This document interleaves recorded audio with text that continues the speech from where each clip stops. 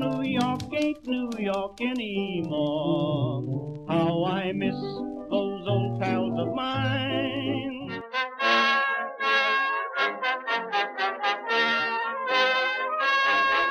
Who is the greatest Major League Baseball catcher of all time? If the name Lawrence Peter Yogi Berra doesn't spring to mind, have I got the movie for you? Hello, history lovers, and welcome.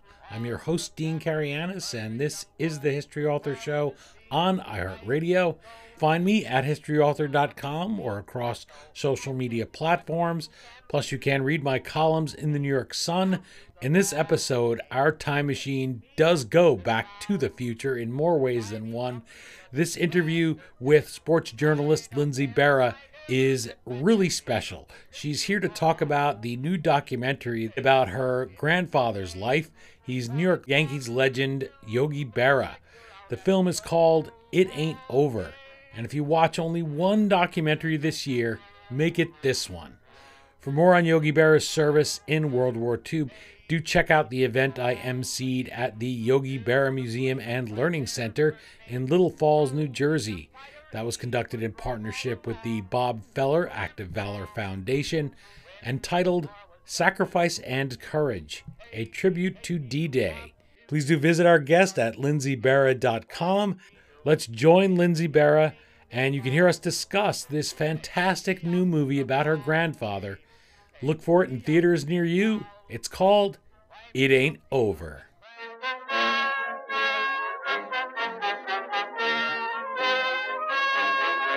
Hey, Dean, how are you? Good morning. How are I'm you? good. Hi. Looks like you're really burning the midnight oil here to try to get all this done, right? It's a nightmare. It's like it's a nightmare. but I'm it's great. It's great too. I can say that from the outside. Yeah, no, it is, For and- me, I just get. I, I keep telling my boyfriend it's totally awesome and it's also a nightmare. And the nightmare doesn't take away from the awesomeness, and the awesomeness doesn't take away from the nightmare. Both things are simultaneously true. But in this, we meet this guy who lived this great American dream life on the baseball field, this American love story. And today, people tend to be so depressed and angry and divided. I know it's a cliche, but it, it's really true. You look at those pictures from the from the 50s and the 60s, and he just looks like he's having the time of his life. So, what you hope people will take away after they watch it ain't over to make them maybe have a little smile on their face. I think for me, my main goal with the documentary is to make people remember what a great baseball player Grandpa was, because I do believe that at the end of the day, his unbelievable personality and the yogiisms kind of overshadowed what he did on the field. I really think he was the greatest catcher of all time. And we go into so many of the stats in, in the movie. You know, so many people don't even put Grandpa on the Yankees Mount Rushmore. They always pick Gehrig, Ruth, DiMaggio, and Mantle. But I love that stat. There's only two people in the history of all of Major League Baseball, not the Yankees, all of baseball, with more than 350 home runs and fewer than 500 strikeouts. And it's Grandpa and Joe DiMaggio. And people don't often put him in the same breath with DiMaggio. So I want people to remember what a great baseball player he is, but also that as good as he was on the field, he was an even better human being. And the movie really goes into that. I think what so endeared Grandpa to people over the years is that as big of a baseball star as he was, he was always very relatable.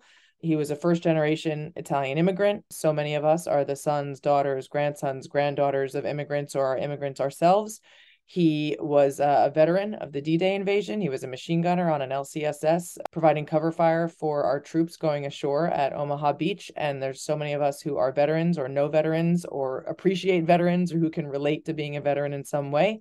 As you mentioned, he had that beautiful 65 year love affair with my Grammy Carmen, which is incredibly relatable.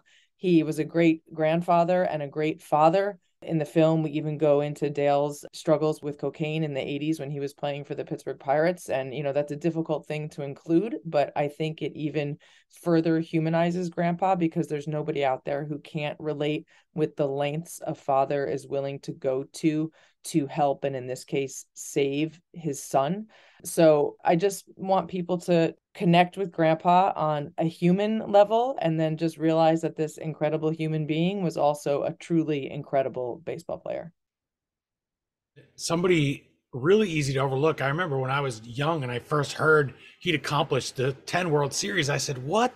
Because when you're a little kid, you think of Yogi Bear, of course, yeah. the infamous association, and you just, there were the commercials, and you just didn't associate his talent. And it's really unfair to him. And also throughout It Ain't Over, people are continually saying, well, he's not good looking. He doesn't look like a Yankee. He doesn't look like a baseball player. He's a gnome. I think Joe DiMaggio says, oh, he looks like a fire yeah. hydrant. It's not fair. And and looking back at that picture, you know, Joe DiMaggio, Marilyn Monroe aside, that's kind of a mystery. Your grandfather was was a better looking guy. Yeah, I think he's adorable big smile, happy. I don't understand what the heck people were talking about with that. Um, yeah. We just had a story in the New York Times, and the writer dug up this thing from Life magazine, which I have screenshot on my phone, and I'm going to read to you in case you haven't seen it. Early in his career, a Life magazine article referred to him as knock-kneed and barrel-shaped, and likened his running style to that of a fat girl in a tight skirt, and that was all in one sentence. Now, like fat girl in a tight skirt, and then the one that always burns me is too ugly to be a Yankee. What does that yeah. mean? What does that even mean? And who the hell would write that? Like, I just, I don't even get it. And you look at his pictures yeah. from his wedding day with Grammy Carmen. And again, you're right, that big smile that just lights up his face. And you can't help but smile yourself. And how is that ugly? It, it baffles my mind. It, it I, I don't get it. I don't get it at all.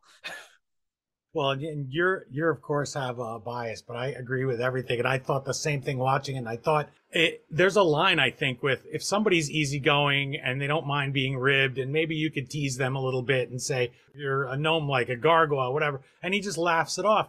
You feel empowered then to do it even more and pick on him. But they do forget about people like yourself that are the family members or people who are looking up to them as idols. And he certainly was a role model in so many ways. And I, I just think that's cruel to have done. And I think the Yogi Bear, which we'll, we'll I'll, I'll, ask you about next, but uh, that whole thing too, it steals his identity. Yeah. It makes him into literally cartoon. a cartoon. And in fact, the Associated Press reports when he dies that uh, Yogi Bear has yeah. died. It's and again easy to laugh at, but your whole family is in mourning. The entire Yankees nation is in mourning at that time, and it, it reduces him to a caricature. Yeah. So I bet you hope that this will restore him to three dimensional status and separate him from the bear. I do for sure. And, and, obviously, like I always have to keep in perspective the fact that grandpa always let all of this stuff just roll right off of his back. You know, he famously said, I, I never saw anyone hit with his face. No matter what they said about him, he was the most self-confident human being on the planet. Like he never for a second questioned his abilities. My uncle Dale tells this great story about asking him what he thought of when the bases were loaded, like late in the game. And he turned it on Dale and asked Dale what he was thinking about. And Dale was like, Oh, what's the pitcher going to throw? Don't swing at a bad pitch. Don't hit to this side. Don't do this. Don't do that.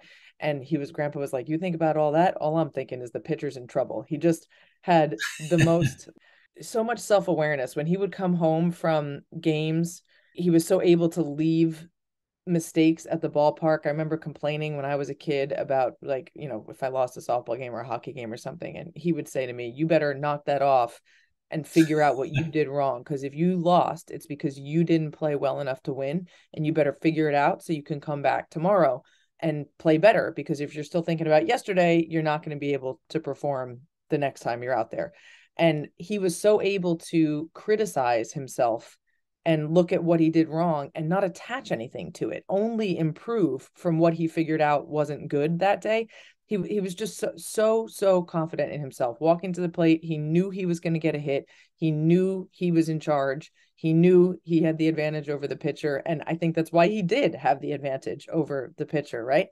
So it's all about attitude and, and, and perspective. And yes, I do hope the public realizes that he was so much more than just a caricature. And, you know, I hope this does a little bit to kind of reclaim his status as a baseball player. I think because he played his last game in 1965 and then made commercials for 50 years after that it's it's a little bit of a recency bias. It's what's in the front of people's minds. And i think if we just put some of the other stuff there that'll go a long way to having them remember him as as more than just a cartoon. But yeah.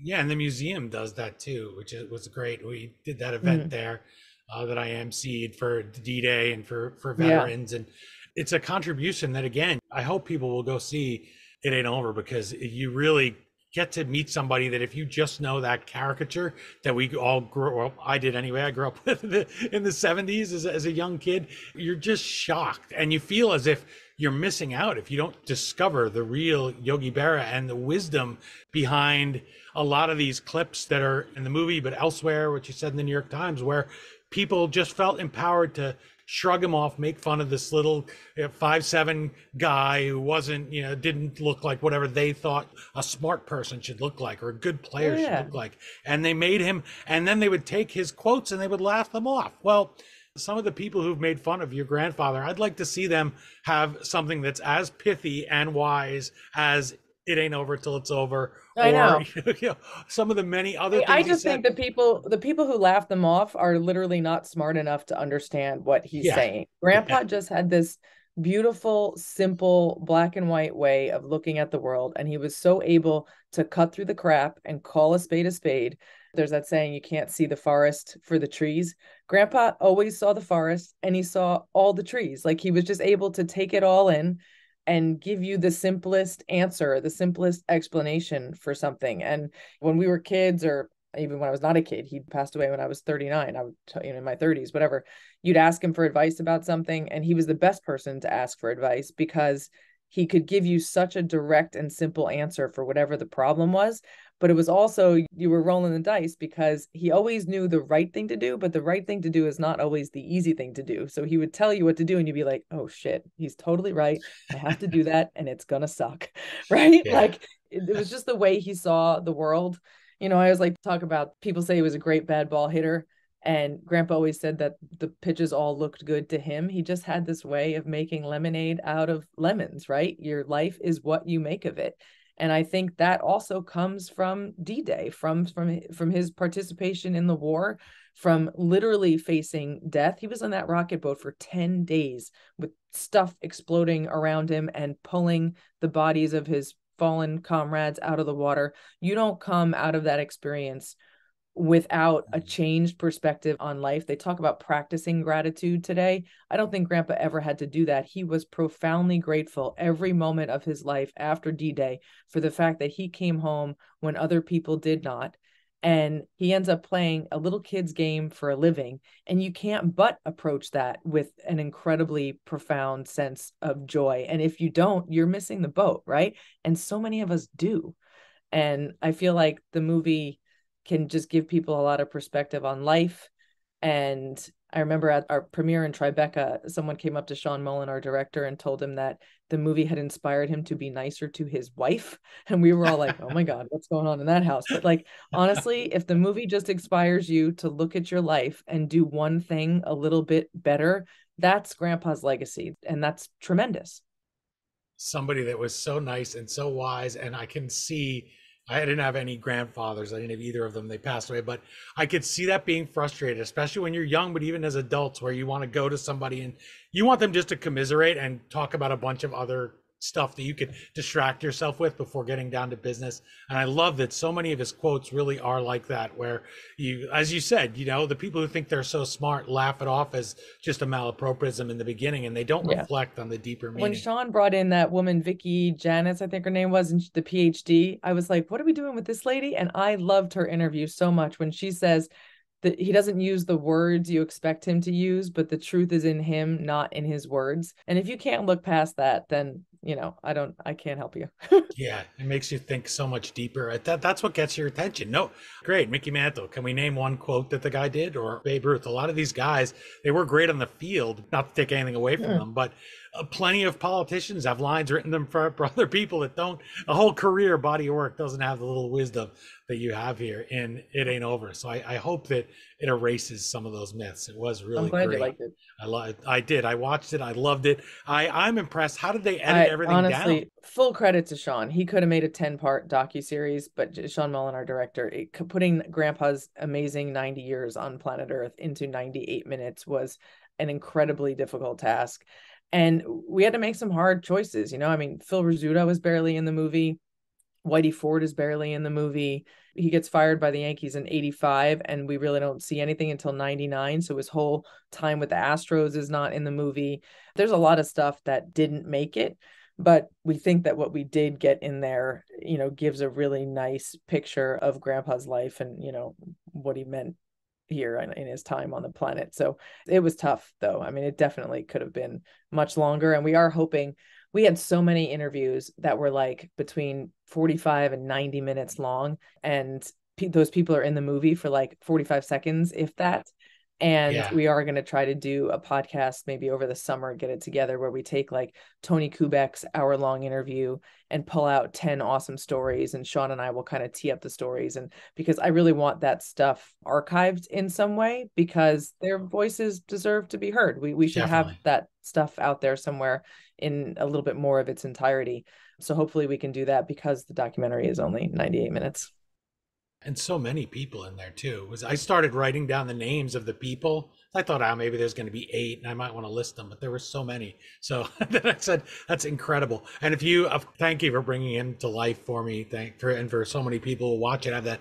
same experience I did as a kid, where you say ten World Series rings, and he, he might as well have been I the know. bat boy in the myth of that period, and it's so unfair. So I'm, I'm glad you're doing this. I'm sure he'd be proud. And my favorite part is because you know I'm New Jersey, I'm Greek also, as you said, son of immigrants, all that, and from New Jersey. Like we have no chance to hold in our our emotions when we see something like him being snubbed at that 2015 All Star game, and I just love the image, yeah, of him just being like, well, you know, this is it. He's much calmer than you. I thought yeah. that, was, but I'm glad that you were upset. You should have been. I keep telling people this. People keep saying, "Oh, do you really think he was overlooked?" have you heard me tell this Yadi Molina thing? Last year we premiered at Tribeca in June, and in the middle of May, right before Tribeca, the movie was already closed. I wish we could have put this in there. Yadier Molina got his thousandth RBI in the middle of May, and Grandpa loved Yadi. St. Louis sports fan through and through. Watched a ton of Cardinals games. Thought Yadi was the best catcher in baseball for like ten straight years. I did a cover story on Yadi when I was at ESPN magazine, so this is no knock on Yadi. We all love Yadi.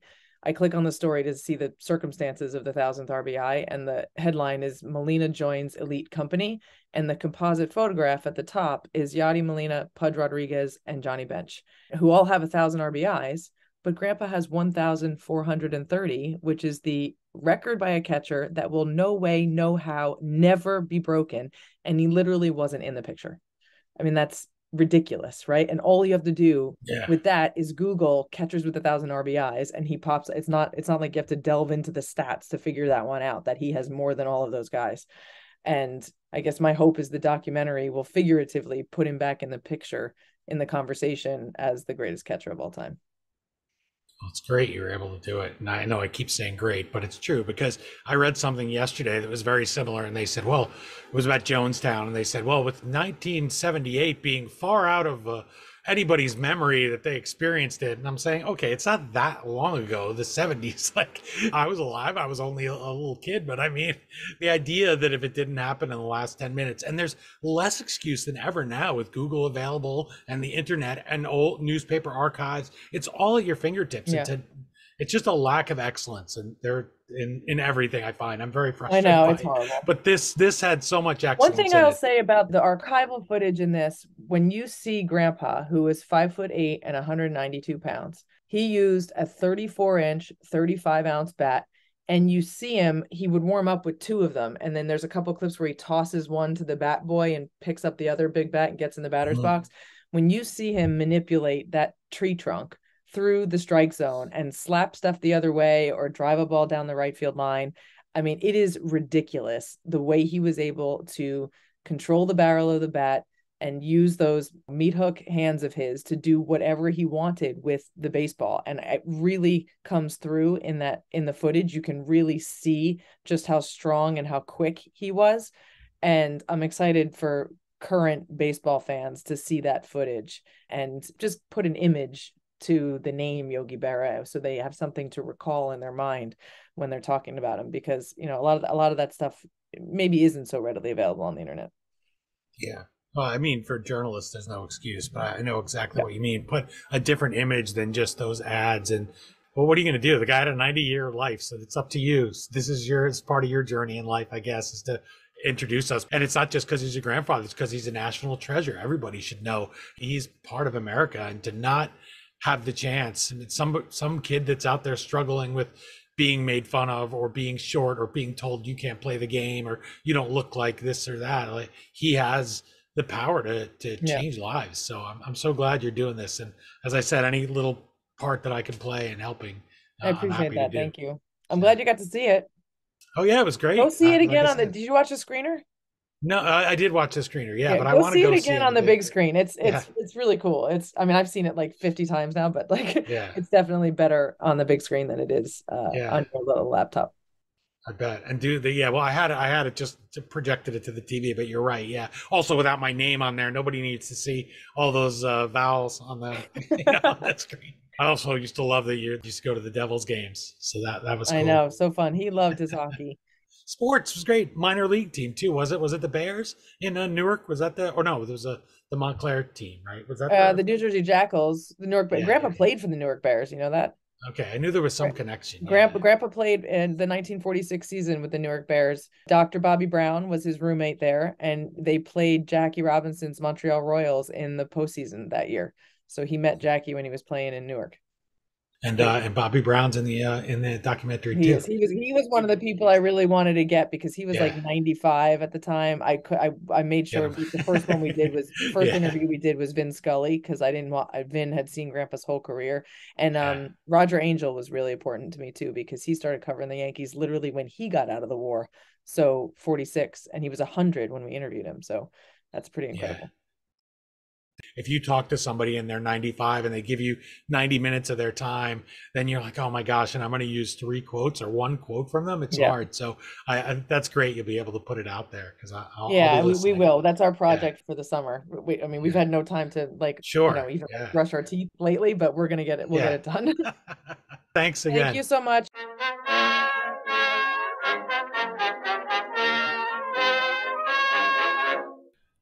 Again, the movie is It Ain't Over. It opens in over 100 theaters across the New Jersey, New York, Connecticut, tri state area on May 12, 2023, and then it'll expand to markets all over the country. May 12th, by the way, would have been Yogi Berra's 98th birthday. If you can, absolutely go see this movie, as Lindsay said, on the big screen. Don't wait to find it on streaming media. You really want to be able to see, especially with some of this archival footage, the detail, and you can't get that at home. You can't get it if you're being distracted, although this documentary will really hold your interest.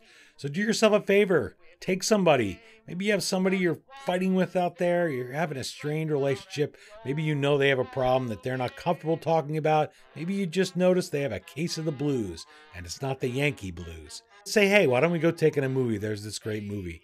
I defy anyone to come out of this movie without a smile on their face. And it's something I didn't mention to Lindsay, which is every single person that talks about her grandfather begins to smile. That is a superpower.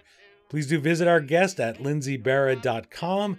And remember, you can find the Yogi Berra Museum and Learning Center online at yogiberramuseum.com. Plan your visit there if you're anywhere in the greater New York area. That's in Little Falls, New Jersey. Plus, remember, you can watch the video of that event I emceed at the library last summer. It was called Sacrifice and Courage, a tribute to D Day. If you enjoyed this conversation, please do subscribe for future journeys in the Wayback Machine. Remember to check me out on social media and in those archives at historyauthor.com. Well over 250 interviews with authors. You're sure to enjoy plenty of baseball stuff there too if you're a baseball fan. That's it for this installment of the History Author Show. I hope you'll join us for our next all new interview right here on iHeartRadio or wherever you enjoyed this journey into yesterday. Until that next trip into the past together, on behalf of Lindsay Berra, thanks so much for time traveling with us today, and have a great week. We still call it Broadway, but what's in a name? Take it from Georgie, it isn't the same. On the east side, west side, things ain't like before. There are tears in the eyes of the regular guys. Oh, New York ain't New York anymore.